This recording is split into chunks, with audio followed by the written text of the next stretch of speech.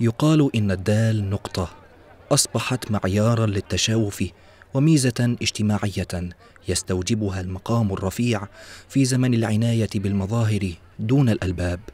ويقال أيضا إن الدرجات العلمية في بلادنا صارت سلعة تباع وتشترى على قارعة الحلم وأدراج المناصب يتكئ عليها العاجزون فيسبقون ولهم فيها مآرب أخرى.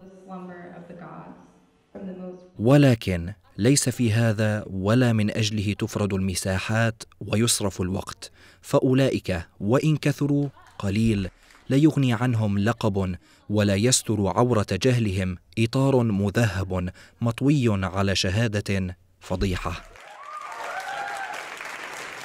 ولكن ما يسترعي الاهتمام ويستحق أن يجد الطلب فيه هو الكم الهائل من الرسائل الجامعية القيمة التي طمرت بمجرد عبور أصحابها إلى مسمياتهم العلمية والوظيفية فكبروا بها وما رعوا لها حقا ولا بذلوها في خدمة الحياة والناس أو أن كثيرا منهم حاول ذلك واجتهد فيه ولكنه لم يجد إلى الناشر أو القارئ سبيلا.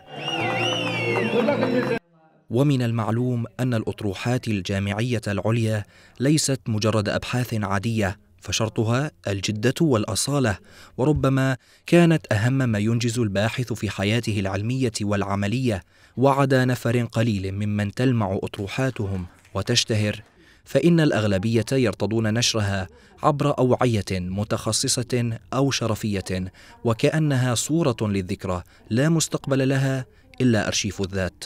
بمثابة الوقاية من فكم نخسر معرفيا بخسارة تلك البحوث؟ ولماذا تؤول إلى هذا المصير الكارثي؟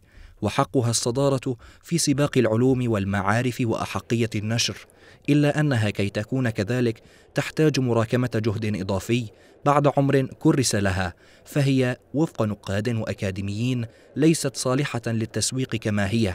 إنما تحتاج وضعها في إطار يناسب عامة القراء والمهتمين من غير المتخصصين. وإن الأمر وإن علا ليستحق أن يبذل فيه الجهد وتصرف المؤونة وكل ما ينقص هو خريطة الكنز ليس إلا